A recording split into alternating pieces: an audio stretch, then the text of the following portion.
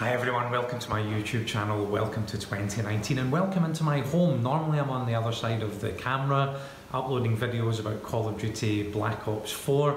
Uh, who can believe now that it's 12 months since I first started the channel? I remember when I did it was to capture footage from Call of Duty World War II on the Xbox One. But now I've been playing Black Ops 4 and I wanted to let you know what the plans are for 2019. So firstly it's to continue to upload Call of Duty Black Ops 4 videos right for the rest of the year, right up until the next release of the next Call of Duty game. But I'm going to move on from multiplayer to the blackout mode very soon. So guys, stick with me as I try and win as many tournaments as possible. I'm really looking forward to capturing that footage and getting the uploads going. I'm going to continue to experiment with Twitch a little bit. I, I started a little bit of regular uh, Twitch uploads in, in 2018, but I'm looking forward to focusing on that a little bit more in 2019. But even more exciting than that, I have some hardware on the way from Amazon that's going to allow me to capture footage from my Nintendo N64 gaming console and my SNES console. So I've got NBA Jam,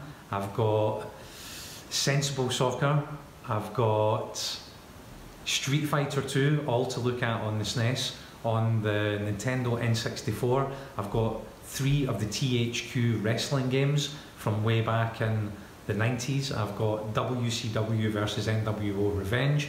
I've got WrestleMania 2000 and I've got WWF No Mercy 64.